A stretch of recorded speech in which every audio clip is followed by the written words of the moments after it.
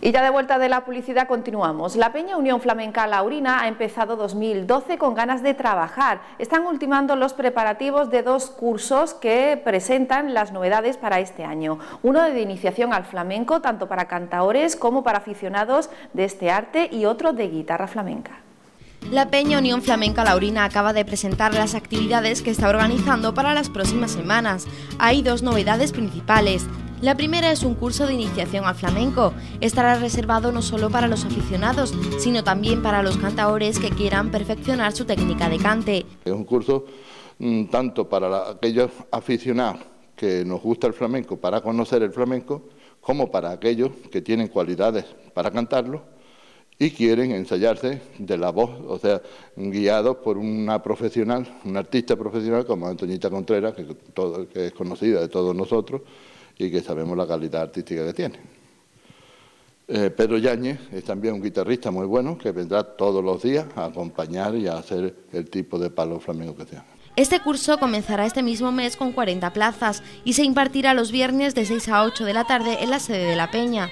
Su duración será de 8 semanas, en las que los alumnos analizarán los palos del flamenco más importantes.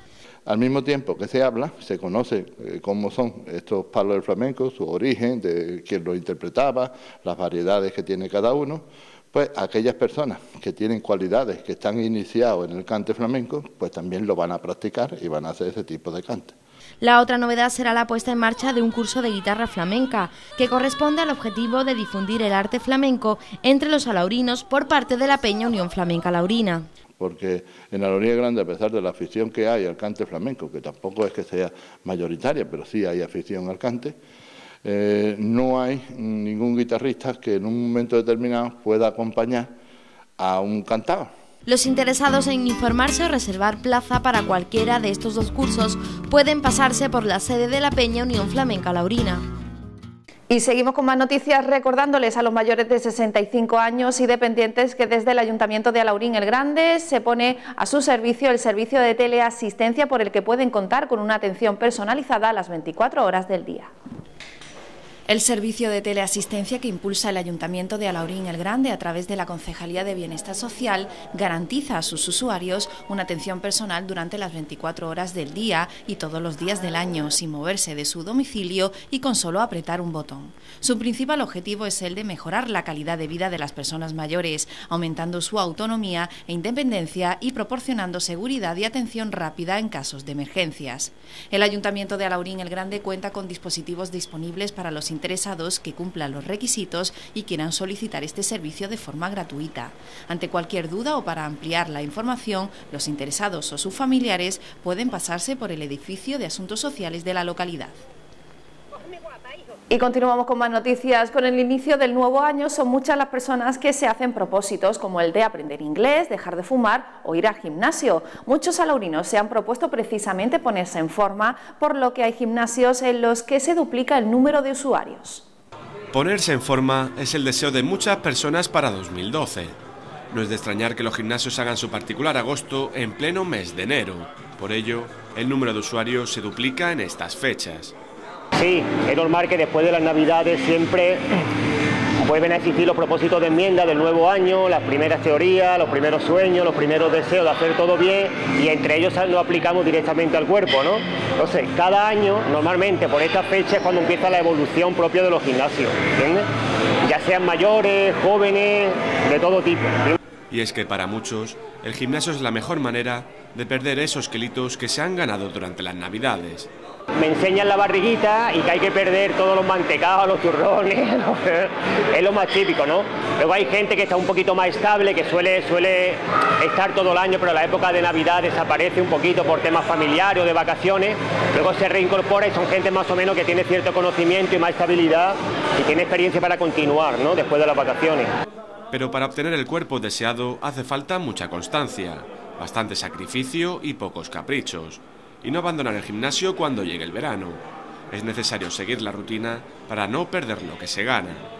La verdad es que da mucha pereza al principio, pero una vez que coge el ritmo, pues te lo tomas como rutina y te diviertes y algo que es sano para tu cuerpo. Esperemos que todos tengan su recompensa y acaben cogiendo la forma lo antes posible. y los que son más constantes, que tengan la fuerza de voluntad necesaria para no abandonar el gimnasio. Y ya llegados a este punto del informativo, como siempre, les contamos qué tiempo tendremos mañana jueves en nuestra localidad y provincia. El tiempo para mañana en la provincia de Málaga traerá consigo cielos con intervalos nubosos, con predominio de nubes medias y altas en el interior, aumentando nuboso por la tarde, con posibilidad de alguna precipitación débil y dispersa en las comarcas occidentales, brumas matinales en el interior, temperatura sin cambios, vientos de componente este, flojos en el interior y moderados en el litoral.